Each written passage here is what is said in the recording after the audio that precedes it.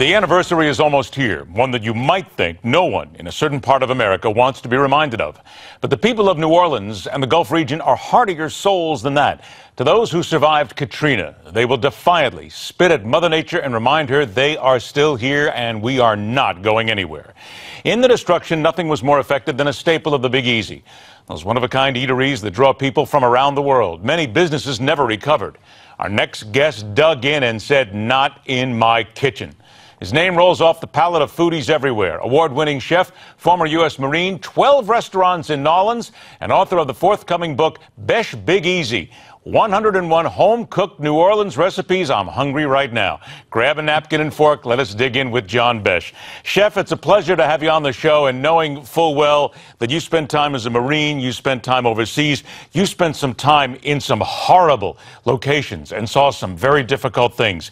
Do you still have nightmares when you compare that with what you saw after Katrina?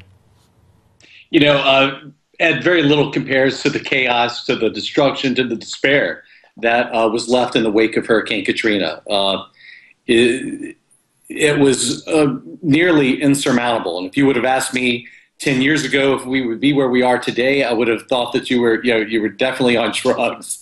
but here we are. 10 years later, and we can actually talk about it. Did you ever at any time, and I know that New Orleans is so special to you, but when you looked at what was going on, you saw the destruction, wasn't there a moment, maybe just a second, where you said, maybe I maybe I don't belong here. Maybe we've got to go. I had people in other parts of the country offering me jobs, and uh, on several occasions, some big developers called me a loser for wanting to stay here. You know, saying that you know you're, you're you won't allow yourself to be successful, and but where would I go? You know, this was my mission. I'd been given a great talent by God. I can cook good food. I can make people happy in my restaurants. And I realized at that time during the chaos uh, that ensued just after Hurricane Katrina that I can make a difference and that we all can using the resources that we have available. And that's what we did. We're, we're proud that we actually dug in. We're proud that we uh, played a role in the restoration of uh, the only, uh, possibly the only uh, indigenous urban culture left in the United States. Why do I get the feeling that a guy like yourself, when I see that you also have the John Besh Foundation, that you look at everything you've done. You've opened up more restaurants. You put more people to work. You're staying put in N'awlins, but you probably look at everything and say, I haven't done enough yet. There's still a lot I've got to do. There's a lot we all need to do. Uh, you know, we're an incredible city with this incredible culture, and I love the fact that I'm the standard bearer that gets to pass it, you know, that baton to the next generation.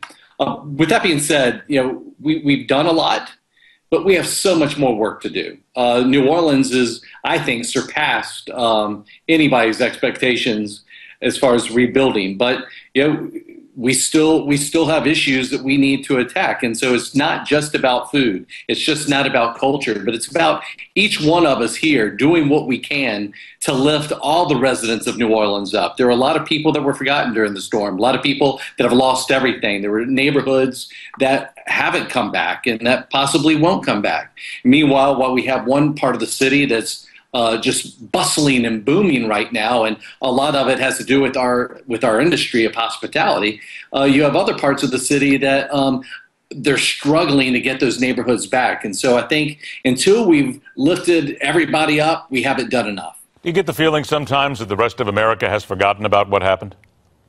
Well, I think it's easy for all of us to get caught up in our daily lives and forget, and especially now with uh, all the politics taking place on national level, stealing so much of the uh, news coverage, that it is hard. But you know, there, there's inner cities all over this country um, have their own issues. You know, every big city has an issue. Uh, New Orleans, the issues just really came to the forefront um, in much more dramatic way because of the wake of Hurricane Katrina. And with that being said, we've had a chance to right so many of the wrongs. We have better public housing today, better public school system, better public transportation, but we can still do more. I only got about 45 seconds left. We're going to show some pictures here. So, if you would, please tell us a little bit about your food because when I walked around and told people we were going to interview you, they said, oh my, food porn.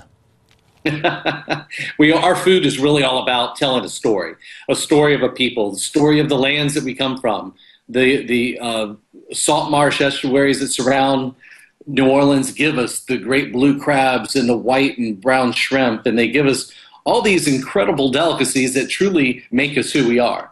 We also have this great melting pot culture. Each each uh, person that came to New Orleans to assimilate in this Creole culture left us with the flavors of the old country by creating something new.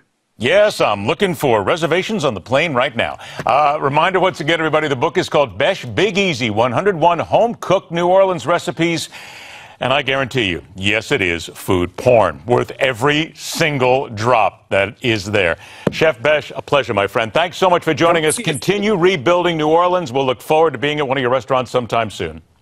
Thank you so much. I appreciate it. All right, our pleasure. Take care. Stay with us. The fastest 60 minutes and the hungriest 60 minutes in news continues.